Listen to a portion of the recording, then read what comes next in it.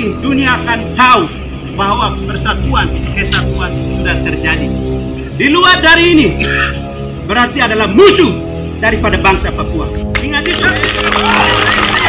Itu tidak kita tegaskan secara berulang-ulang.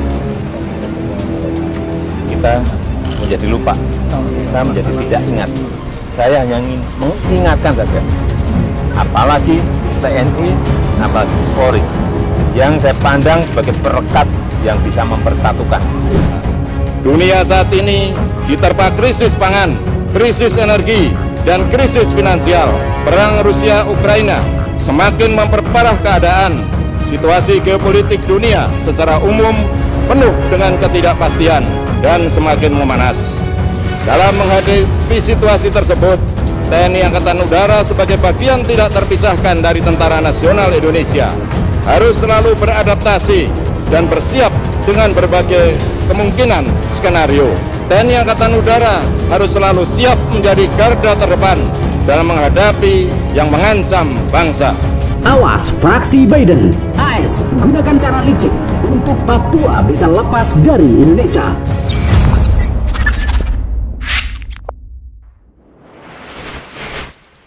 Sahabat bagi-bagi, secara geografis dan geopolitik, Indonesia tidak disangkal lagi merupakan negara yang sangat strategis. Selain letaknya di garis katulistiwa, Indonesia pun dikaruniai sumber daya alam yang sangat kaya. Tapi di balik keberuntungan ini juga dapat menciptakan ancaman.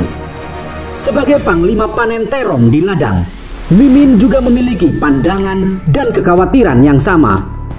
Ancaman tersebut menjadi sulit ditentukan berdasarkan wilayah dan geografisnya akibat kemajuan teknologi, komunikasi, sebaran komunikasi, dan manusia sehingga sulit dikendalikan.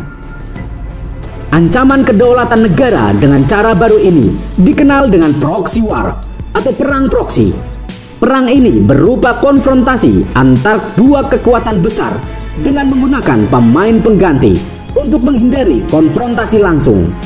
Alasannya untuk mengurangi konflik yang beresiko menghasilkan kehancuran fatal.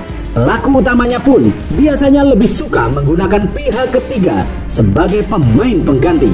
Misalnya, negara-negara kecil seperti KKB Papua yang sukanya membuat keresahan kematian rakyat kita yang tidak tahu apa-apa. Akibatnya, pihak yang diserang menjadi tidak dapat mengenali dengan jelas siapa sebenarnya kawan dan siapa lawan. Karena musuh mampu mengendalikan dari jauh. Kabarnya, proxy war telah berlangsung di Indonesia melalui berbagai bentuk seperti gerakan separatis dan isu sara dalam kehidupan berbangsa dan bernegara. Berdasarkan berbagai peristiwa yang terjadi di Indonesia belakangan ini, dapatkah kita memperkirakan siapa atau negara mana sebenarnya yang memiliki potensi tengah melakukan perang diam-diam pada Indonesia?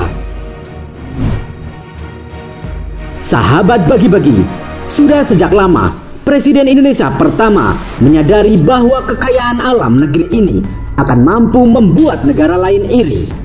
Akibatnya, kekuatan tersebut bisa berubah menjadi kelemahan. Sebab akibat kekayaan dan posisi geopolitik yang strategis, Indonesia kerap menjadi target proksi atau diam-diam menginvasi Indonesia. Walau Indonesia tergabung dalam negara non-blok dan perang dingin telah berakhir, namun dua kekuatan di dunia dalam hal ini AS berserta sekutunya serta Tiongkok dan Rusia masih terus membayangi.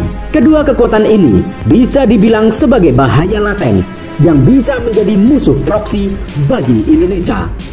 Selain itu, Indonesia juga dikelilingi negara-negara yang kerap mengancam teritori dan kedaulatan bangsa seperti Australia, Filipina, dan Malaysia. Belajar dari kasus Timur Timur, konflik Papua kemungkinan besar dibayangi oleh kekuatan Australia. Masalah HAM dan referendum juga merupakan isu yang dipakai agar Papua lepas dari Indonesia. Memanasnya konflik di Papua belakangan ini juga sangat mungkin berhubungan dengan upaya pemerintah yang memaksa Freeport melakukan divestasi saham 51% melalui kelompok separatis AS berupaya membuat kekacauan agar pemerintah Indonesia tunduk dan membatalkan peraturan tersebut. Negara-negara pemberi pinjaman serta pendonor terbesar seperti Jepang, Singapura, Prancis, Jerman, Korea Selatan, dan Tiongkok punya peluang besar memberi tekanan pada kebijakan Indonesia, termasuk negara-negara yang tergabung dalam Bank Dunia. Di luar itu, kelompok radikal juga sangat mungkin menjadi musuh proksi Indonesia. ISIS bahkan telah terbukti menggunakan jaringan sporadisnya untuk melakukan tindakan radikal dan terorisme di Indonesia. Banyaknya ujaran-ujaran kebencian di media sosial juga merupakan indikasi adanya oknum yang sengaja ingin memecah belah bangsa untuk menangkal serangan proksi yang datang dengan menggunakan kekuatan hard power, kekuatan militer, dan posisi tawar Indonesia masih dapat dikatakan cukup menguntungkan. Namun tidak begitu bila serangan yang dilakukan melalui soft power di mana kondisi ekonomi dan teknologi informasi Indonesia masih termasuk lemah. Sahabat bagi-bagi, bersyukurlah karena saat ini Indonesia terkenal sebagai negara dengan hacker terkuat di dunia. Sehingga walaupun menteri Koordinator Politik Hukum dan Keamanan Wiranto mengatakan Indonesia mendapat jutaan serangan cyber setiap bulannya masih dapat ditangkal bersama baik oleh Departemen Pertahanan maupun pihak swasta. Kirim saja orang-orang kita seperti Jamet dari Madura seribu orang untuk tinggal di luar negeri yang sekiranya menjadi ancaman bagi kita. Pasti Mimin yakin orang-orang sana akan tertular dari orang-orang kita. Maka dari itu, Indonesia wajib kuat untuk bisa melakukan kerjasama yang menguntungkan negara ini. Lihat saja ke depannya, bila Indonesia kuat, tidak butuh waktu lama negara ini akan percaya karena kita kaya. Wahai Sang Garuda, saatnya kau buang kupu-kupu yang mengganggu. Dan engkau wahai pemuda, saatnya mengambil dunia terjadilah perkasa, bukan lagi jadi remaja yang manja. Kita ini Garuda Indonesia yang siap menerkam sang naga. Merdekalah Indonesia seutuhnya, merdeka. Hurrah!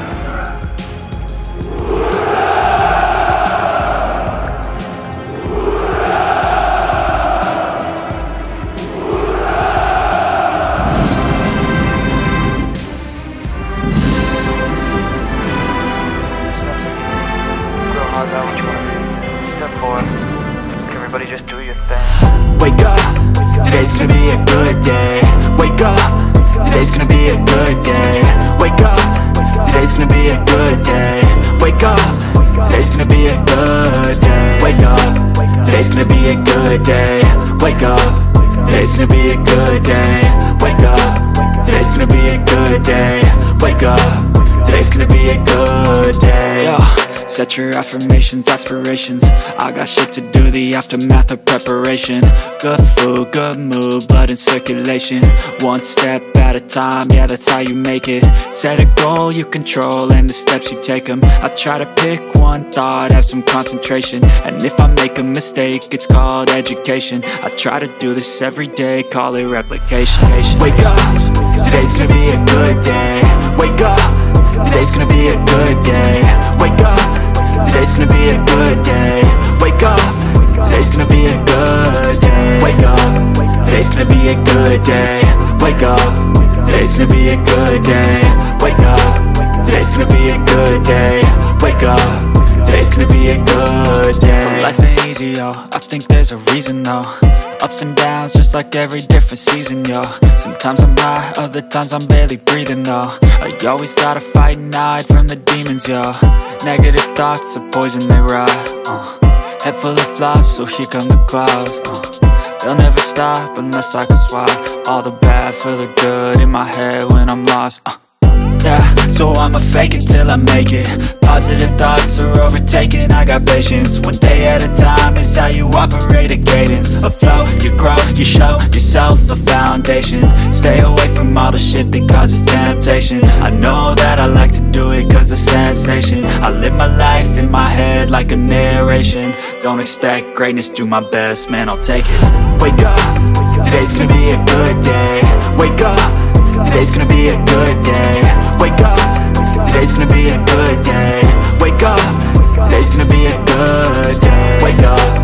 Today's gonna be a good day. Wake up. Today's gonna be a good day. Wake up. Today's gonna be a good day. Wake up. Today's gonna be a good day.